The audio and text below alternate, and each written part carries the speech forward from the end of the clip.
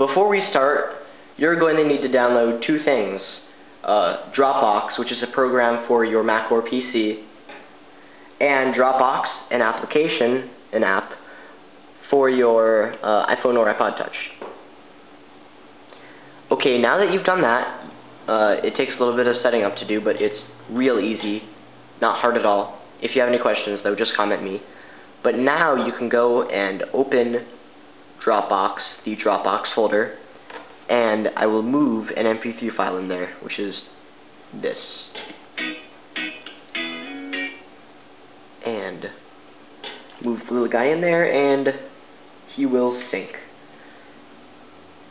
And now it's time to play it. It hasn't synced yet, but it, it'll, you know.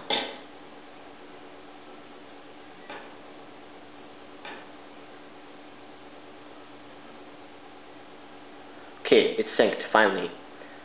Uh, and now you can play it.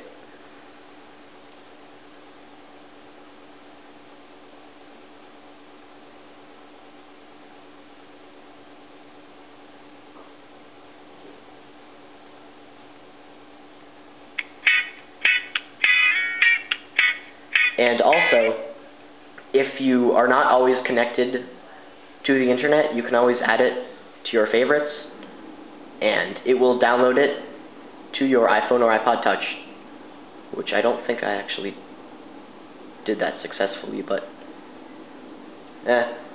It is really awesome though. Very easy to use, and uh, uh, only thing is, everything is free except uh, with Dropbox, it's only limited to 2 gig, which, you know, it's good enough for me. Should be good enough for you.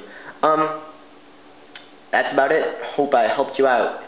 And also, this doesn't isn't just limited to MP3s or anything. You can, you know, sync pictures and everything, download them too. Videos, you know, pretty pretty awesome. All free and awesome. Alright.